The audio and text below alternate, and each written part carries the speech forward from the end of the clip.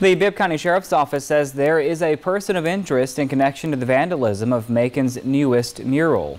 The Macon Bibb Transit Authority sent us this video. Now, investigators believe the person in the video may have vandalized the Spirit of Macon mural sometime last week. The artwork is outside the MTA building at 5th and Poplar Streets in downtown Macon.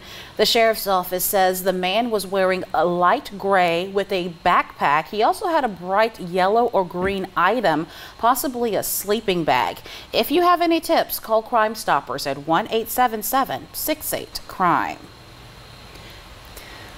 Well, today, the MTA mural artist Abraham Abebe has started covering up that graffiti.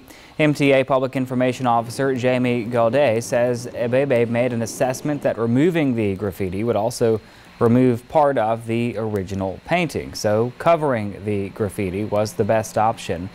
Gaudet says this is the first time any mural has been vandalized since the first mural there was painted four years with the other murals here and they were never touched.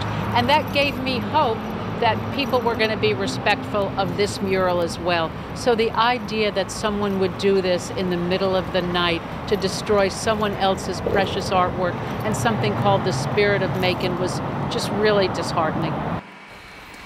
And Gaudet says the Transit Authority is looking into upgrading its cameras near the mural.